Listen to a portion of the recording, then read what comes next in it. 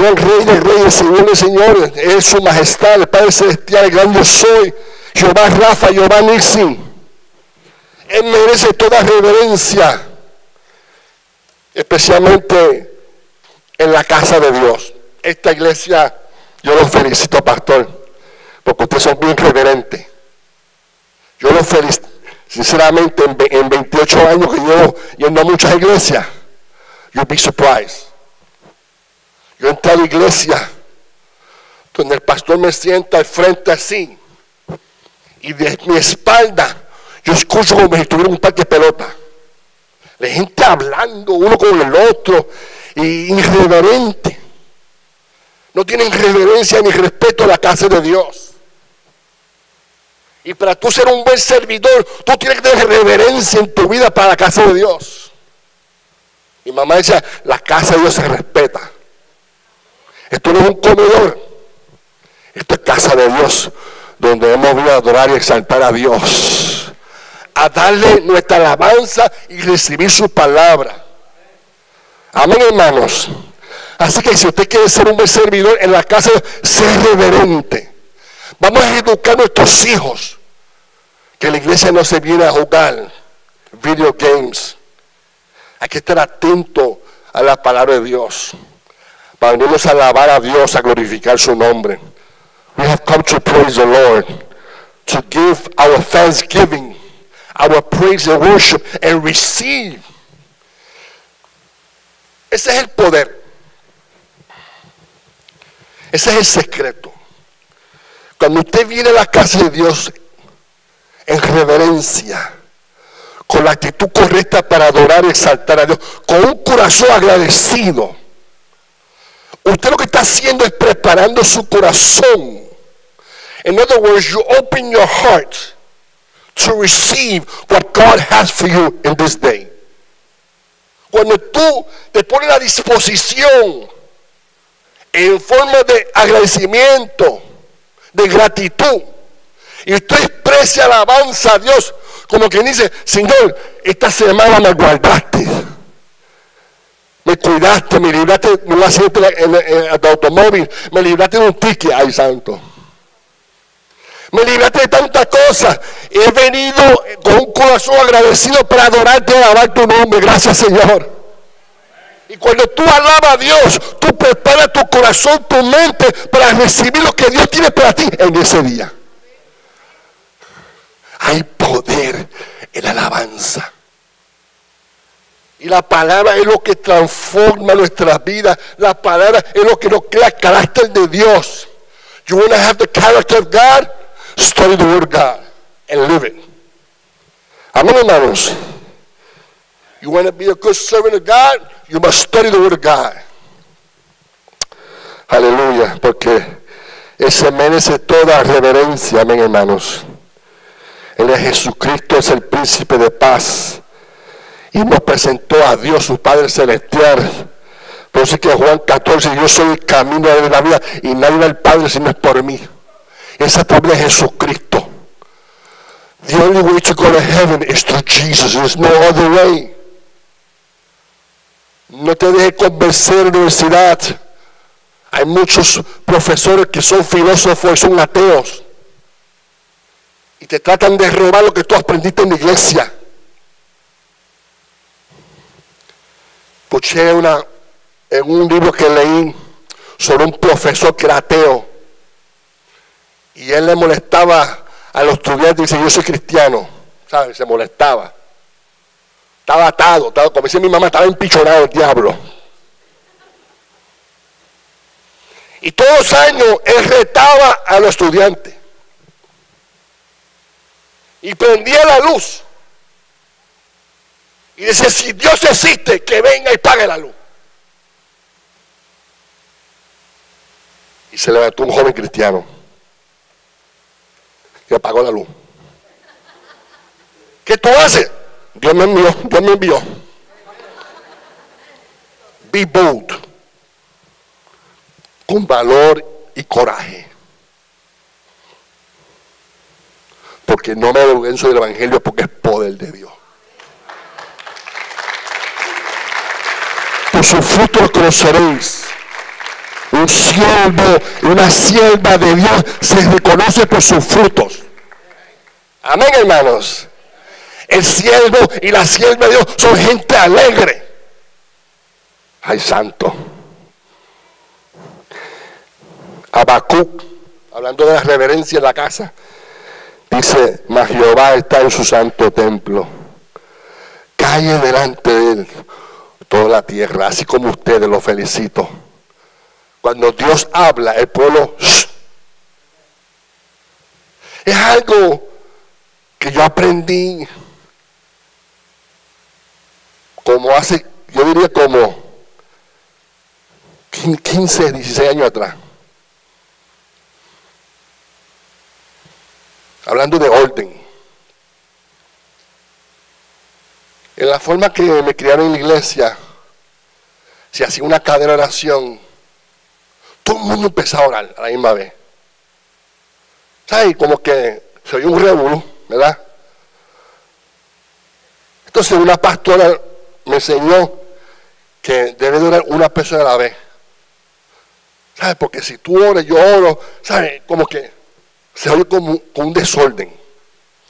Entonces, cuando, estemos en una calle de oración y vamos a una oración, que ore uno primero. Y si quiere orar otro, pues amén, gloria a Dios, pero, you know, Jehová está en su santo templo, calle delante de toda la tierra. Cuando el profeta dice, así dice Jehová, todo el mundo, God is going to speak. And you're going to listen. Amén, hermanos. Reverencia. Número tres, gentileza. Para yo ser un servidor, yo necesito gentileza, ser gentil. Amén, hermanos. Hay una diferencia entre ser gentil y ser hostil. ¿Cuánto conocen gente que son hostil? Nasty people. Oh my God. Grullón. Según Timoteo 24 dice, y un siervo del Señor no debe andar peleando. Más bien debe ser amable con todos. Capaz de enseñar y no propenso a irarse. Hay personas que lamentablemente están en un proceso porque tienen un genio volado. De nada se molestan. De nada para a la mesa así se molestan. Se sale ese coraje. Y dice, oh my God, uno se asusta. ¿Qué pasó aquí? Y es porque todavía está crudito. Está crudito en el Señor. Todavía le falta. Así que no lo juzgue. Ora por él, ora por ella y ayúdala. Mándale mensajito, ¿sabes? Recibe paz, paz, paz, paz. Jesús dijo, la paz os doy, mi paz os doy, me yo os la doy. Paciencia. Paciencia es un fruto del Espíritu. Y cuando tú te acercas a Dios, cuando tú estableces esa intimidad con Dios y tú quieres un servidor una servidora, Él te enseña paciencia. Así que si tienes la mecha cortita, ora a Dios. Ora por eso, porque eso es de Dios. No podemos estar peleando porque la pelea no es de Dios. Usted pelea con el diablo, pero hermano, Dios pelea por ti. Amén, hermano. Otra versión se llama habla hoy, Dios habla hoy, dice, y un siervo del Señor no debe andar en peleas, al contrario, debe ser bueno con todos, debe ser apto para enseñar, debe tener paciencia con las personas difíciles. ¿Cuántos conocen gente difícil? ¿Cuántos son difíciles aquí? Ay, santo. Gentil y paciencia con personas difíciles. Hay personas difíciles en la iglesia. Hay personas que son groseras, ay santo. Hay personas que son insensibles, que todo les molesta. Y empiezan a llorar. Cualquier tontería, empiezan a llorar. Y lamentablemente decía gente que son malas, son malvados. Una persona malvada necesita nacer de nuevo. A ver, hermanos. Hay que saber servirle a estas personas con un espíritu correcto. Porque si no, se van a cerrar muchas puertas, hermanos. Efesios 4:15 dice, más bien al vivir la verdad con amor, creceremos hasta ser todo como aquel que es la cabeza, es decir, a Cristo. Cristiano quiere decir ser como Cristo. Amén, hermanos. Proverbios 15.1 dice, la respuesta amable calma el enojo, pero la agresiva echa leña al fuego. Así que cuando usted se encuentra con un hermano o una persona agresiva, empieza, no se ponga a su nivel. Va a la guardia y háblele suavecito. Y cuando tú suavecito y le soba la espalda, tranquila voy, tranquilo voy. Pero si te pone el mismo ¡ah! entonces le echa la leña al fuego, fíjate. Se fastidió la cosa. Amén, hermanos. Estamos aprendiendo a ser servidores de Cristo. Filipenses 4, 5 dice, dice, vuestra gentileza sea conocida de todos los hombres, porque el Señor está cerca. El Señor está cerca. ¿Cuánto es que está cerca?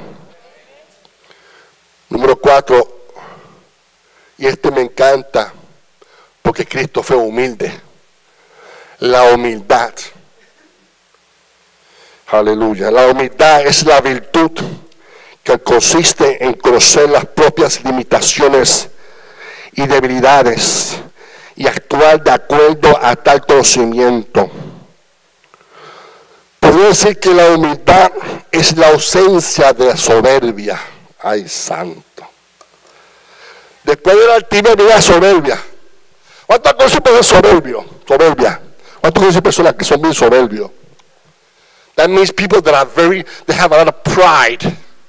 They think that, se creen que son la última Coca-Cola del desierto. Personas que, que, que, que lo saben todo. I know, I know, I know, I know. Yeah, they know a lot. And they don't know nothing. Es difícil. Hay que tener paciencia. Ver con personas soberbia. Y lo hay, hermanos. En cada familia hay un, hay un cabezón, una cabezona. ¿Verdad que sí, hermano? En cada casa, cada familia, hay un soberbio, hay una persona que es activo, se cree especial. Pero dice la Biblia que el que se ensalce será humillado. Mas el que se humille, ¿verdad? Y leyendo uno de mis libros devocionales, leí una anécdota de una iglesia como un poquito más pequeña que ustedes, pero un campo de allá del área. Mi suegro de Castañel, del área arriba, campo. Era una iglesia bien pequeñita y el pastor era un hombre de Dios, era un hombre humilde, lleno de Dios, mucho amor. Y uno de los líderes se encargó de invitar a una persona especial para la campaña. Y la iglesia estaba llenita porque hicieron muchas invitaciones en otras iglesias. Y el pastor no sabía quién era el predicador. Y estaba sentado en el mismo medio de la nave de, de la iglesita. Y el pastor de corazón lo presentó como es normalmente presentar a la gente. En esta noche tenemos un invitado especial y vamos a pedir el hermanito fulano este que se ponga de pie pasa aquí frente. Aquel hombre se levantó así, con la cabeza bien alto así. Tiene una Biblia bien grandota. Y subió al altar así. Y agarró el micrófono y dijo, yo quiero corregir el pastorcito este. Yo no soy cualquier hermanito de tal. Yo soy el doctor Tacho. Yo tengo tal doctorado, tiene más títulos de cuerpo. En este día se me ha exponer la Santa Escritura, ¿sabe? un pavo real. Y cuando abrió la Biblia y fue a hablar, Dios lo enmudeció.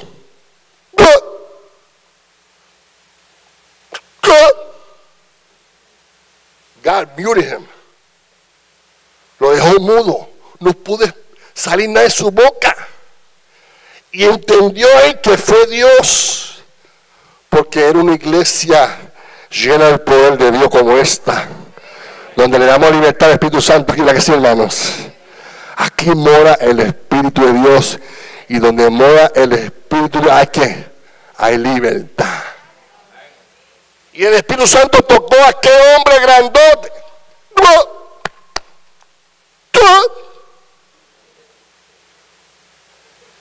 Y entendió lo que estaba sucediendo. Y bajó su rostro. Ahora no la aquí. Y bajó la plataforma. Y Dios levantó una siervita del campo con un trompo. Y vino donde él y le dijo, si hubiese subido como bajaste, hubiese bajado como subiste. ¿Cuánto entendieron? O sea, que si hubiese subido como bajó, iba a bajar. ¿Sabes? Porque el que se humilla será ensalzado. Dios mira tu corazón. It's all about the attitude of your heart. It's not what you know, it's who you know. Hay una diferencia entre conocer de Dios y conocer a Dios. Y para ser servidora de Dios, tú tienes que conocer a Dios cara a cara. Mi mamá me enseñó que como creyente y aún como mi ministro, tenemos que tener un closet de oración, un lugar a solas, donde tu esposo, tu esposa, tus hijos, nadie te va a molestar. Apaga el televisor, apaga el celular y enciende de oración y busca el rostro de Dios. Sepárate para Dios para, ser un buen servidor necesitamos separarnos para Dios. I tell the young people, don't forget you are God's property. Tú eres propiedad de Dios. You're in this world, but you don't belong to this world. You belong to the kingdom of God. Somos del reino de Dios. Estamos en este mundo, pero no somos este mundo. Let them call you E.T., alien. Yeah, I'm an alien from God. De la gloria celestial. Amén, hermanos. Dios está buscando corazones humildes. Según a Timoteo dice, así humildemente debe corregir a los adversarios con la esperanza de que Dios le conceda el arrepentimiento para conocer la verdad. Como le dije ahorita, los hechos hablan más que la palabra. No vas a asuste. Habla con tus hechos para tomar confianza. Entonces Dios te usa como un siervo, una sierva de Dios, como un vaso, un instrumento de Él. Dios usa gente simple. A veces, sí, hermano, yo creo mucho en la preparación académica, hay que estudiar, hay que prepararse. Pero nada puede sustituir el poder y la manifestación del Espíritu Santo. Amén. Porque de qué te, de qué te vale tú ser una persona inteligente, intelectual y sabes mucho de Biblia, pero cuando tú hablas no se siente nada. Cuando tú hablas, hablas vacío, porque no hay poder de Dios, no hay unción. The unction makes the difference in your life. My mom told me, if there's no unction, there's no function. Si no hay unción, no hay función, porque la unción quebranta el poder yugo como siervo y sierva de Dios, tenemos que tener esa unción que se manifieste hasta nuestras vidas para su gloria, no, porque la unción no es nuestra de Dios. toda gloria es para Dios. Dios no te da un título en una iglesia para que te... No, no, no, no. Aquí toda la gloria de Dios. Somos, vamos a ser humildes. Porque Dios no comparte su gloria con nadie. Young people, you are anointed. The unction is in you. You must learn little by little to make that unction grow in your life. And that way the Holy Spirit will manifest through your life with the power of God. Yo recuerdo en el 91, 93, estaba estudiando en el Instituto Bíblico yo tenía un profesor, un maestro, pastor que lo admiraba mucho. Era un hombre humilde, pero lleno de Dios. Cuando ese maestro enseñaba, yo sentía la presencia de Dios. Yo no quería que se fuera. I wanted to him all night because he was a man full of God, anointed. Y él nos compartió una vez que, que fue a visitar a la casa de una hermana que, su, hermano se mudó con ella y estaba endiablado ese muchacho. Tenía legiones, estaba bien atado. Y fue a visitar y estaban sentados en la mesa y aquel muchacho no dejaba el pastor hablar. Lo interrumpaba. He would, he would interrupt the pastor. He would not let the pastor talk. Man. Hasta que el pastor se dio cuenta que no era él, era el enemigo. Y le dijo, enmudece en el nombre de Jesús. Le dijo, enmudece en el nombre de Jesús. Aquel se quedó mudo. Se cayó. He, that's the anointing of God. That's the power of God. Más grande es aquel que está en ti. Greater is he that's in you that he's out there in the world. God is greater in you than the enemy of out there. No weapon formed against you shall prosper. Ninguna arma forjada contra ti ha de prosperar, porque más grande es Dios que está en ti. Cuando lo reciben, hermanos.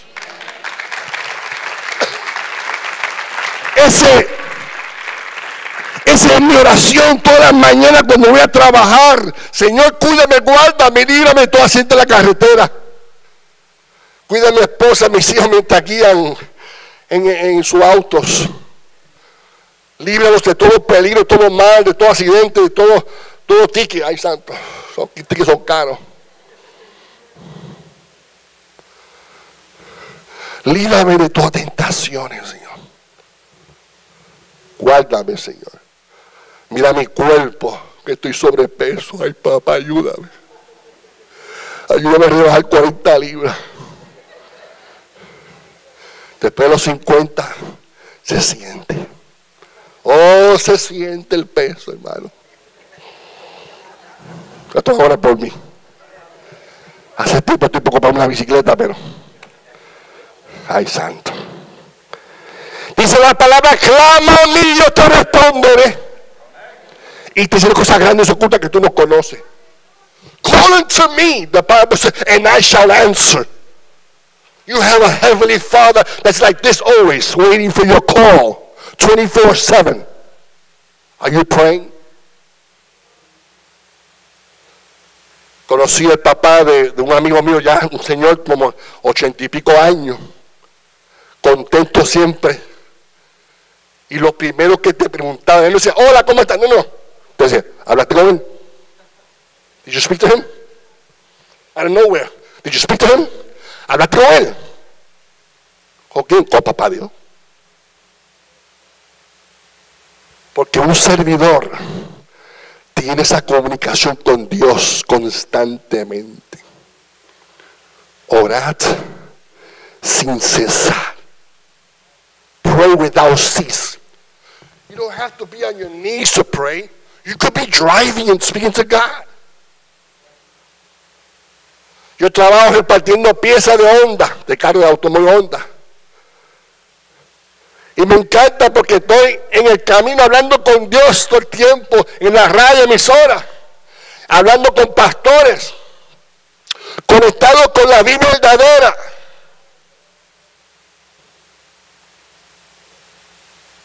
Y yo sé que soy una amenaza para el diablo, está molesto conmigo. Ay, ay. The enemy does not have authority over you. El enemigo no tiene autoridad sobre su vida. Porque más grande es Jesús que está en ti que el enemigo. Amén, hermanos. Me estoy saliendo del bosqueo, pastor. Pero Dios sabe las cosas, la que sí. Estamos hablando sobre la humildad. Aleluya. Así, humildemente, ya leí ese. Había, cuando conoce la historia de Nicodemo. Nicodemo era, un fariseo, era un principado, un principal, un hombre bien importante en la sociedad. Pero a través de la humildad de Cristo y los milagros, ¿sabe qué hizo? Él se humilló, se salió por la ventana de noche para encontrarse con Jesús. Un hombre con un título, una posición, pero sin embargo, él se humilló para mí, esa es mi opinión. Se humilló, se, salió por la ventana para no tener problemas con los otros. Hay un hombre de los fariseos que se llama Nicodemo, dignatario de los judíos, vino a Jesús de noche y le dijo, Rabí, sabemos que has venido de Dios como maestro, porque nadie puede hacer estas señales que tú haces si no está Dios con él. Respondió Jesús, de cierto, de cierto te digo, que quien no nace de nuevo no puede no ver el reino de Dios. Y él no puede entender porque estaba pensando en la carne. Como ya viejo vuelta en el vientre de mi mamá. No, no, no, no. Lo que es carne, carne, lo que es espíritu, espíritu es. You must be born again to go to heaven. To go to heaven, you must recognize who Jesus is. And what did he do for you? What did he do? I'm sorry. ¿Qué hizo Jesús por ti? Reconocer a Cristo en tu corazón. Reconocer que tú eres un pecador. Arrepentirte de todos tus pecados y pedirle perdón a Dios. Y que crea tu nombre en la vida. Amén, hermanos. Eso nos salvo. Aleluya. Y este fariseo, Nicodemo, reconoció por el testimonio y por la humildad de Cristo que venía de Dios. Qué lindo. Qué lindo cuando tu compañero de trabajo puede reconocer que tú eres cristiana. Que ellos lo reconocen. No pueden decir lo contrario.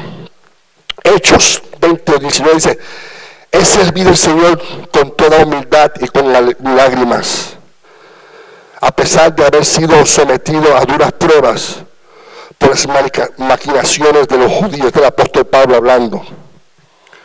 Aleluya. Había unos ancianos ya en términos de edad y Dios lo había prosperado, tenían millones de dólares y nunca tuvieron hijos y querían preparar el futuro y querían dejar una fortuna a una, una, un colegio cristiano, una universidad, porque ellos, ellos, creen mucho en la educación. Y fueron varias universidades para sentarse con el presidente, pero era gente del campo, eran gente, tú sabes, a mí la humildad no hace tu eh, vestir, usted sabe eso, que como usted visto no tiene necesidad de humildad, pero en esta historia ellos eran bien simples, vestían bien simples, gente de campo, pero eran ricas. Y estaban buscando una universidad para dejar una herencia, dejar un legado. Y cuando lo veía así, usted no tiene cita, lo siento, el presidente está booked, ¿sabe? Y se iban bien tristes. Y visitaron como cuatro universidades y todo igual. No lo recibían por su forma de vestir, su forma de ser. Y volvieron a su pueblo y al pueblo al lado había universidad. Y fueron allá. Y cuando entraron, encontraron a un plomero debajo de un fregadero, regando con las plumas, así, sabes, las llaves. Y si con el permiso, perdone que lo molestemos, estamos buscando el presidente de la universidad. Y él se levantó. Sí, sí, eh, pero aquí, él viene ahora, siéntese aquí, dale 10 minutos. Y ese hombre se fue. Y a los 10 minutos volvió trajeado. Era el mismo hombre. Sí, dígame usted. Usted está buscando el presidente, yo soy el presidente de la universidad. Pero usted no es plomero. Se asombraron. Sí, pero como no había nadie que, no había nadie que hacía, pues yo, yo le metí mano, tú sabes. Y vio su humildad. Y le escribió un cheque ahí de 1.5 millones de dólares para la universidad. Y ellos dejaron un legado a esa universidad sobre la educación, para la educación, Belón. ¿Por qué? Porque vieron la humildad de ese presidente. En otra palabra, si tú eres humilde, prepárate porque Dios te puede bendecir. Amén, hermanos. Le estamos terminando. ¿Cuántos se están gozando, hermanos? Estamos aprendiendo algo.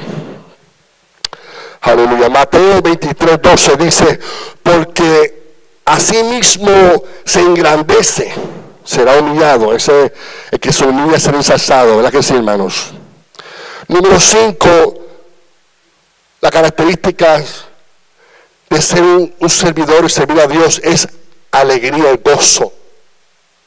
Y este es el punto que yo aprendí a través de mi papá. My father was always a joyful person. I barely remember my dad sad. He was always with a smiling face. Mi papá siempre era una persona contenta, gozosa, chistosa. Mi mamá era lo contrario. Eh, mi mamá era la ley, mi papá era la gracia. Mi mamá era una pastora bien, bien estricta. Mi mamá era bien fuerte. Un carácter fuerte como su papá, mi abuelo. Pero mi mamá tuvo un testimonio tremendo porque mi mamá viene de, una, una, familia bien religiosa, católica. Y mi mamá fue la primera que se convirtió a Cristo y fue pastora. Y hasta ahí mi mamá se salvó sus padres y sus seis hermanos. Una familia entera se salvó. Queda uno que está vivo y va a la iglesia. Pero a través de, de mi mamá hacer una sierva de Dios, se salvaron toda su familia, sus padres y sus hermanos, sus hermanas. Pero mi mamá era una mujer bien estricta, como pastora, bien fuerte. Pero mi papá era la gracia en casa. Era un hombre chistoso, gracioso, amable, dulce. Se llevaba con todo el mundo, hacía a todo el mundo reír. Y yo me puse a analizar en la Biblia sobre el gozo del Señor. Dice en que el gozo del Señor nuestra que fortaleza. Es una receta de Dios. That is a prescription from the Bible for us to be joyful. The joy of the Lord is our strength. So the day that you feel weak, get into joy. Gózate, gózate, gózate, gózate, gózate. Alégrate y canta, dice el salmista. Para mí, el creyente debe ser una persona alegre, una persona gozosa.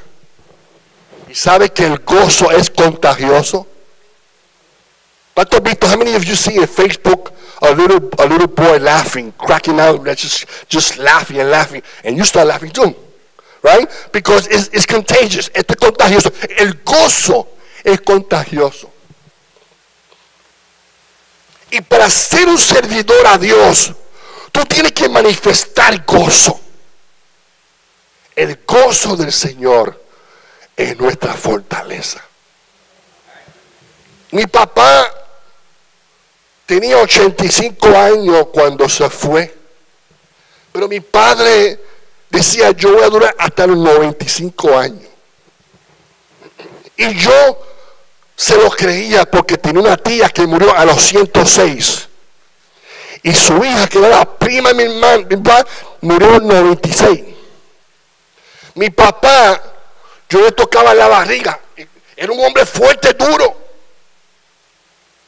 Dice, wow, el gozo del Señor es nuestra fortaleza. O sea, interiormente, corazón, espíritu fuerte, pero mi papá era un hombre fuerte físicamente también. Lo que le sucedió a mi papá, y nosotros aprendemos de los errores, es que mi papá tenía tanta fe en Dios y como que no creía mucho en los médicos. Dios capacita y da sabiduría al hombre, a los médicos. Dios usa a los médicos. Amén, hermanos. Cuando Jesús hacía milagros y sanaba a la gente, no todo el mundo se sanaba. ¿Cuántos saben eso? hubo gente que Jesús no, no, no fueron sanos, porque según tu fe será hecho. Eso es according to faith. Y lamentablemente mi papá se descuidó de su medicamento. Y le dio un pequeño infarto, pero a la misma vez tenía cáncer en la próstata. Y él lo sabía, pero él no dio nada a nadie. No, yo estoy sano, yo estoy sano. Y no se tomaba su medicamento. Pero mi padre hubiese durado fácil 90, 95 años, porque era un hombre fuerte, porque era un hombre gozoso, alegre. You must be a joyful young person. As a Christian, as a servant, you must live in joy of the Lord. Amen. And the day that you feel sad, just worship and praise Him.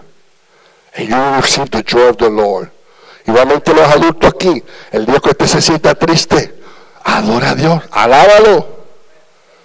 Mi papá dice, alábalo Jimmy, eh, si la alaba te goza. Si la alaba te goza, ¿sabe? Porque la alabanza produce gozo. Amén, hermanos. ¿Cuánto hacer un culto glorioso donde usted empieza a alabar a Dios y usted será contento, feliz, gozoso? ¿Sabes que sí? Porque eh, la alabanza produce gozo. Dios produce gozo, el Espíritu produce gozo. Gozo es hermano. Cuando venga la prueba, ok, hay tiempo para todo. Hay tiempo para llorar también. Pero no vamos a estar todo el tiempo llorando. ¿Para qué sí, hermanos? Vamos a gozarnos. Vamos a gozar la vida. El creyente debe caminar en gozo. Cuando entre por Walmart, usted da a la persona, buenos días, con una sonrisa. Los otros días fui a repartir una pieza a un taller pequeñito de un haitiano joven. Y cuando yo llegué en mi, en mi bus, su madre estaba de pies ahí en la entrada del taller. Cuando yo vi el rostro de esa mujer, wow, yo vi a Dios. Era una sonrisa santa. Y era la, convicción, porque pues, ¿cómo se dice este? El Espíritu Santo nos identifica. ¿Para qué sí, hermano? Cuando usted está lleno del Espíritu Santo, Él discierne, te, enseña, nos identifica. Y cuando yo me bajé del post, yo la miré, yo dije, Praise the Lord y me dio una sonrisa más grande. Y cuando yo la vi a ella, me acordé de mi mamá, la pastora. Y yo le dije, you know, my mom was a pastor for 36 years. He said, oh, how wonderful. Are you a minister too? He said, yes, I am. To God be the glory. I'm a worshiper. Y algo me decía, bendícela. Y andaba en mi, lonchero un CD y le, sembré un CD a ella. Y me dijo, no me dejes ir sin bendecirte para atrás. Así me dijo, yo me pasmé, porque yo no esperaba nada. Pero a mí me enseñaron que tú no puedes robar la bendición a nadie. Si alguien te ofrece una bendición, no le robe la bendición, porque Dios bendice al que bendice. Amén, hermanos. Pero fue una experiencia que me marcó y me de mi mamá. Por su fruto lo conoceréis. El gozo del Señor. Aleluya. La palabra alegría deriva en latín alicer. Es un sentimiento grato y vivo que suele manifestar con signos exteriores. El Salmo 100, verso dice, servir a Jehová con alegría. Venir ante su presencia con regocijo. Cuando tú vienes a casa, vea, con, con, con gozo, con alegría. Salmo 144, 15 en, la versión Dios habla y dice, feliz el pueblo que tiene todo esto. Feliz el pueblo cuyo Dios es el Señor. Y por último, y eh, algo más, no sé, si es más importante, pero es el amor. Y algo conmigo, amor. Aleluya. Dice en Galata 5, 13, 14, ustedes hermanos han sido llamados a la libertad, pero no usen la libertad para dar rienda suelta a su instinto, más bien servir, sírvanse uno a los otros por amor, porque toda la ley se resume en este solo mandato, ama a tu prójimo como a ti mismo. Fue un mandamiento nuevo que dejó Jesús Amarás al Señor con todo tu corazón, con toda tu fuerza, pero ama a tu prójimo como a ti mismo. Don't do nothing to someone that you don't want them to do to you. You have to love your neighbor as you love yourself. If you don't love your neighbor, that means you don't love yourself. El que no ama está mal.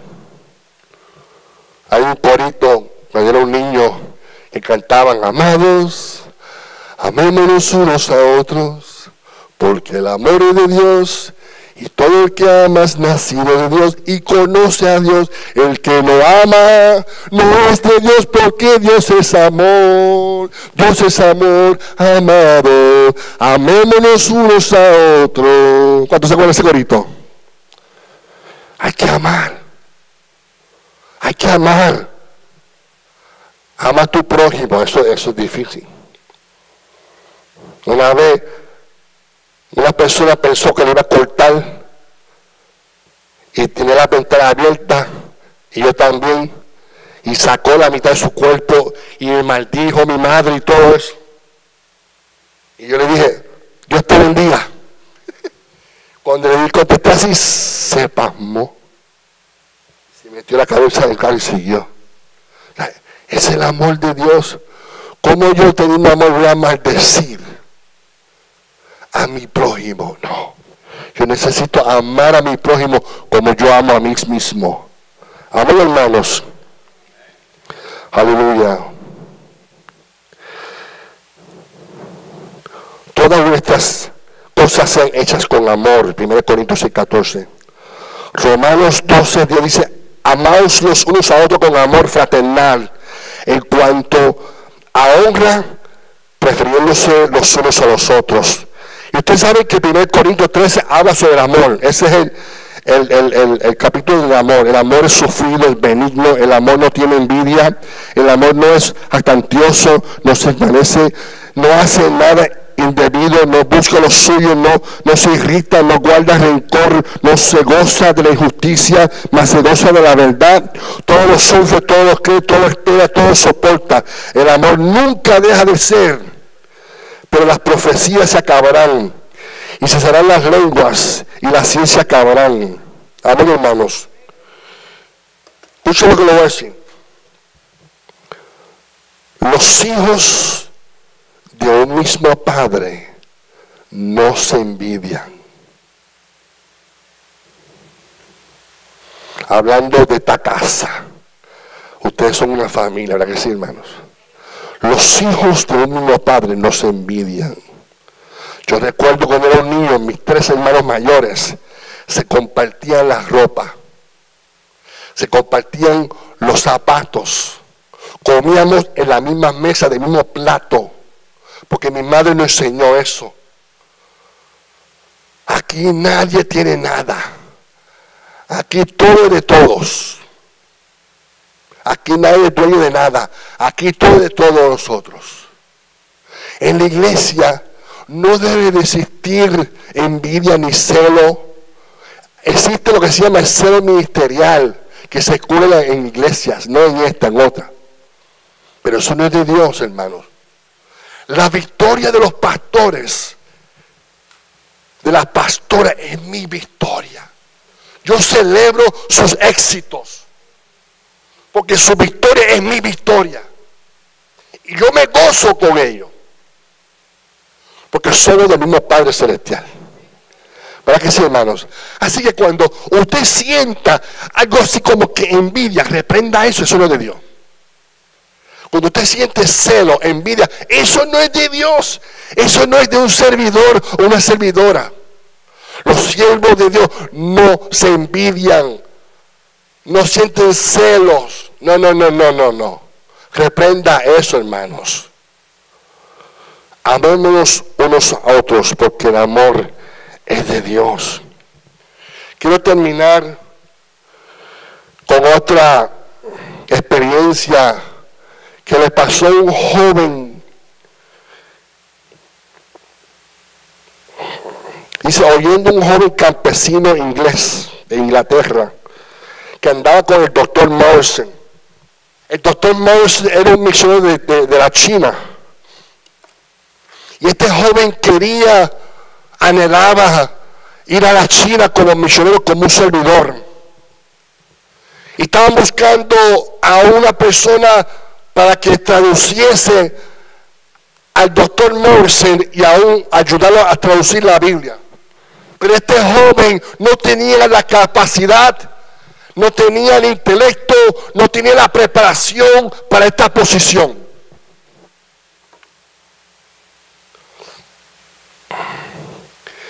Dice, amigo, yo y mis compañeros podemos consentir a enviar usted a China como misionero. Pero para esto necesita instrucción y dotes especiales que usted no tiene. Pero si no le repugna ir allá como criado del doctor Morrison, gustosos le proporcionamos los medios de acompañarle. Él contestó, Señor, contestó humildemente el joven, lo deseo es, mi deseo es servir al Señor en China. Sea como misionero, sea como criado, seré lo que usted disponga que sea para servicio a mi adorado Salvador. Dios bendijo su humildad y ratificó su decisión de tal manera que el joven campesino, pobre ignorante, llegó a ser más años luego un doctor uno de los misioneros más distinguidos de las iglesias contemporáneas. En su corazón anhelaba simplemente servir a su adorado Salvador. Dios ve la actitud de tu corazón. Tú, hay personas en nuestra iglesia aquí no que pueden engañar al pastor, pueden engañar a los líderes, pero a Dios no le engaña a nadie porque Dios ve lo que el hombre no ve. Dios ve tu corazón. Y Dios está buscando corazones humildes, contristo y humillado. Dios está buscando personas con una disposición y un anhelo de servirle de corazón. Es tiempo, hermanos, que la iglesia cambie su perspectiva. La perspectiva tuya, ¿cuál es? Hay que cambiarla para que seamos servidores a Dios y a nuestros hermanos, a nuestros pastores. Compartimos sobre ciertos elementos, características, actitudes de ser un siervo, una sierva de Dios. Y como hermano en Cristo, yo le motivo que, conmigo también, yo, yo me incluyo, hermano, que vamos a prepararnos más y más en estas actitudes, en estas características, para ser mejores servidores a Dios.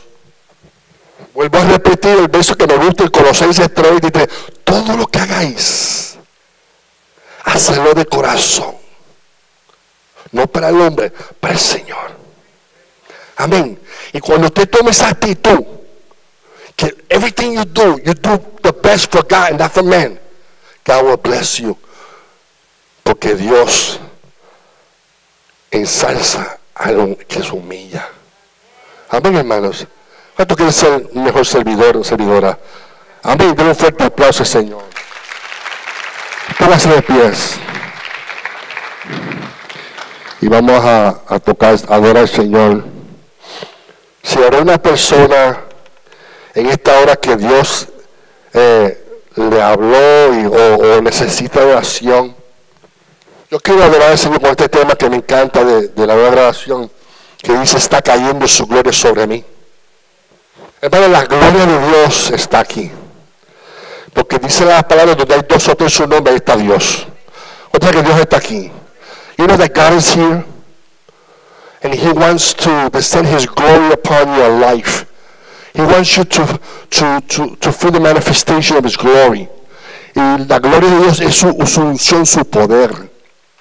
Yo necesito su gloria. Yo necesito esa unción de Dios. ¿Cuántos anhelan una unción fresca en esta hora? How many desire a fresh anointing by the Holy Spirit? So we're going to worship with the song. And I want you to participate. Quiero que sean participantes, no simplemente un espectador, sino participa conmigo.